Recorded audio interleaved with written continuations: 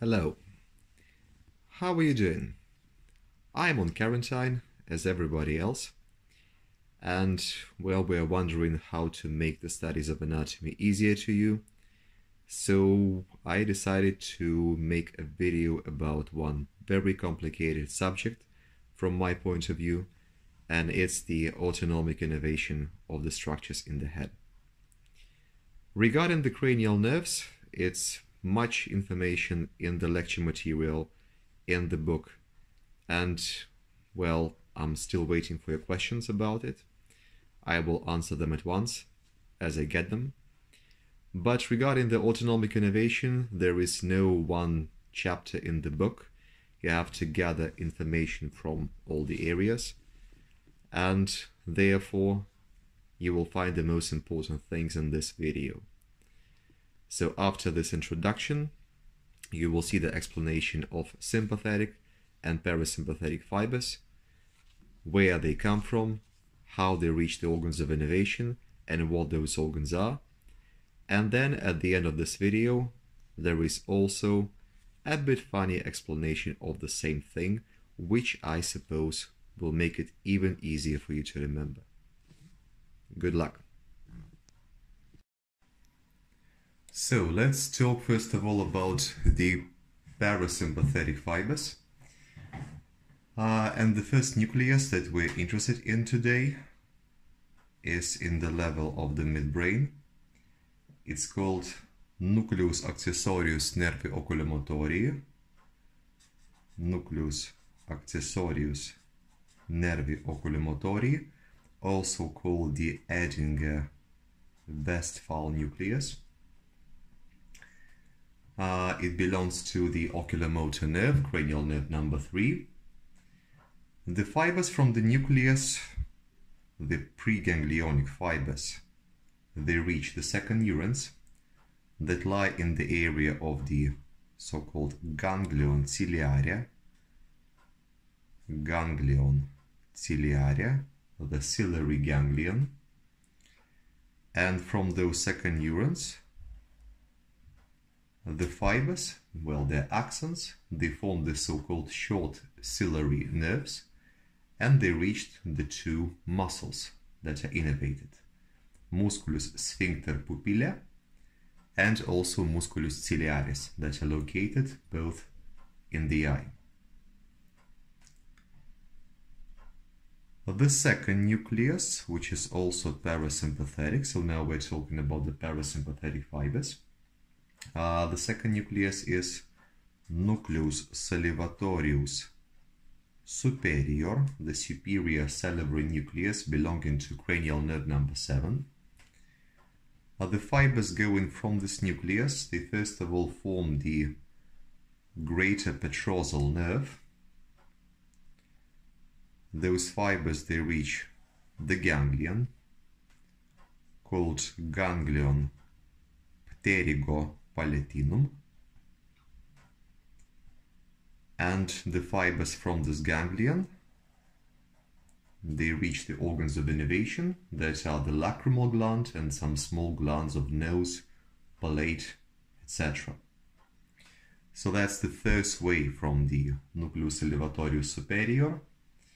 Uh, the second way is forming another nerve which is called the chorda tympani, uh, and then branch of it, the lingual nerve, nervus lingualis.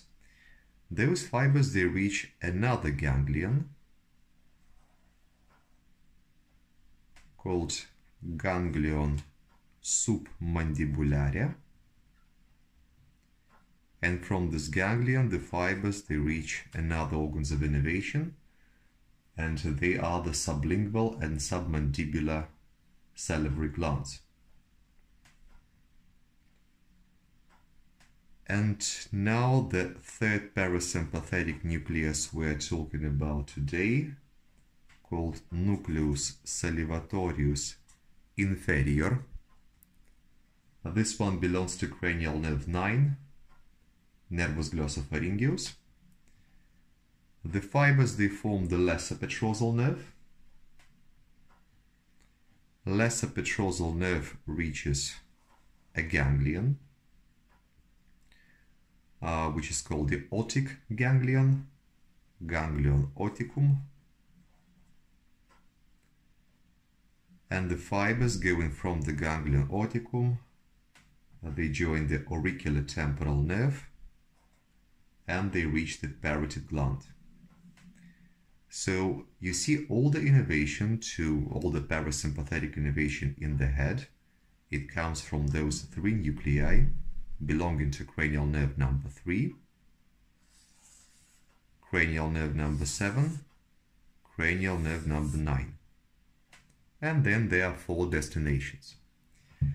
It's important to understand that when we're talking about the autonomic nervous system, uh, there is always a ganglion on the way. So in somatic nervous system, let's say, in the somatic motor division, the fibers from the very first neuron, they will reach the organ of innervation, but in the autonomic nervous system, the fibers, they should switch somewhere on the way, and it happens in the ganglion. So that's about the parasympathetic fibers.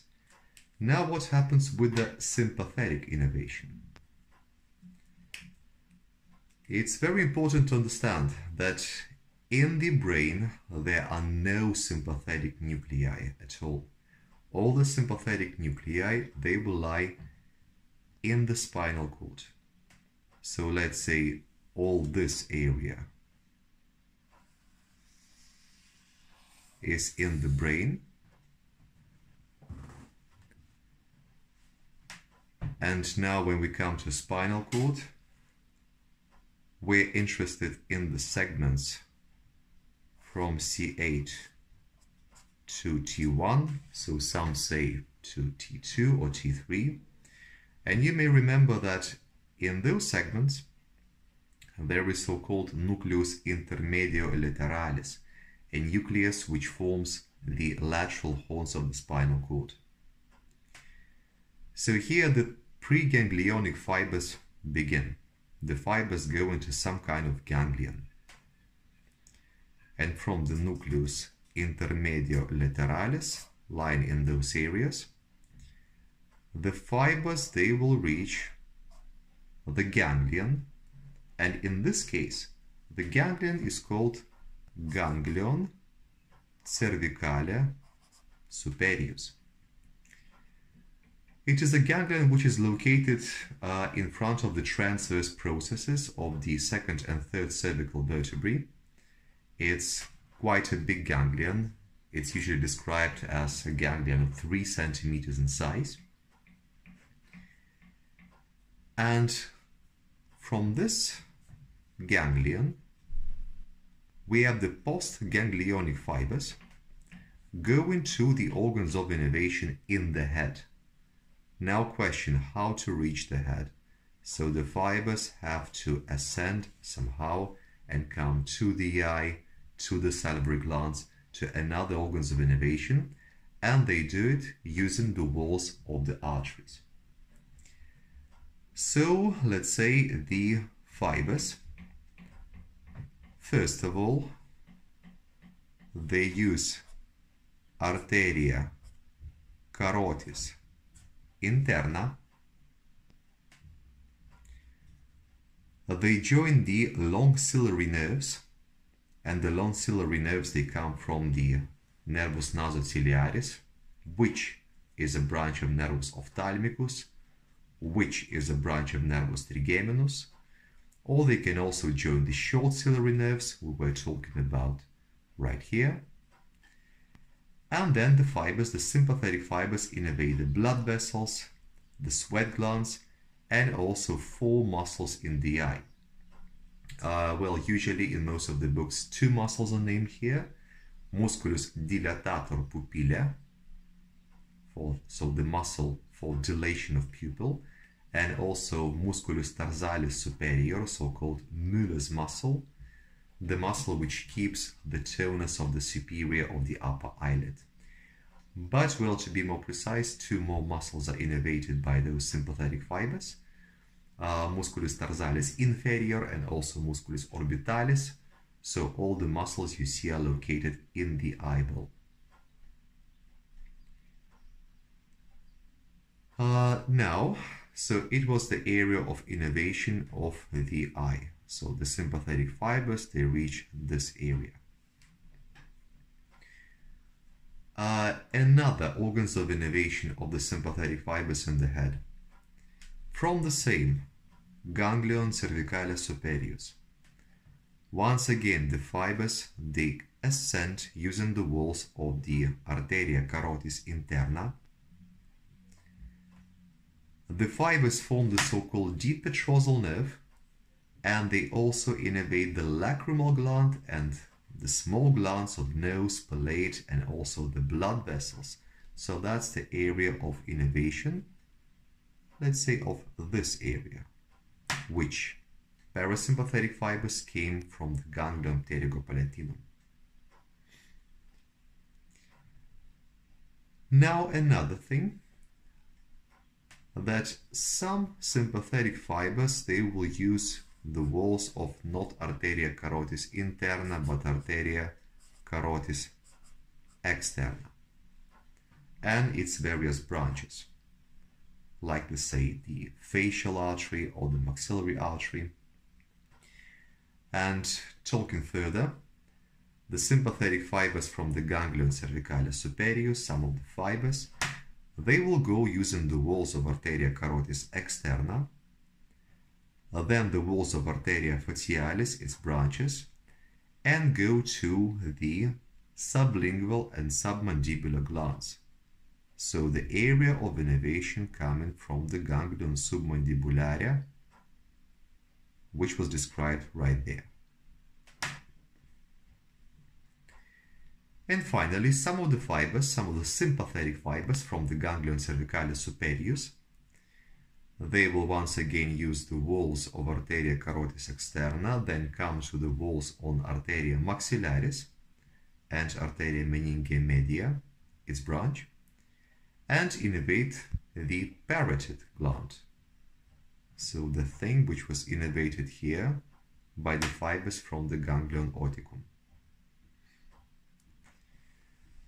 Uh, the other sympathetic fibers, they will innervate some other structures in the head, like the pineal gland, like the carotid body, like the choroid plexus, and also, let's say, the thyroid gland in the neck. So to summarize what I've just talked to you about, when we're talking about the autonomic innervation to the head and neck, the parasympathetic fibers, they come from the nuclei in the brain. The sympathetic fibers, they come from the spinal cord. The fibers, both sympathetic and parasympathetic, have to switch on their way and to form the ganglia. The parasympathetic ganglia, they lie once again around the brain, in the head. The sympathetic ganglion is located in the neck. And then the sympathetic fibers, they reach the head using the walls of arteria carotis interna or arteria carotis externa.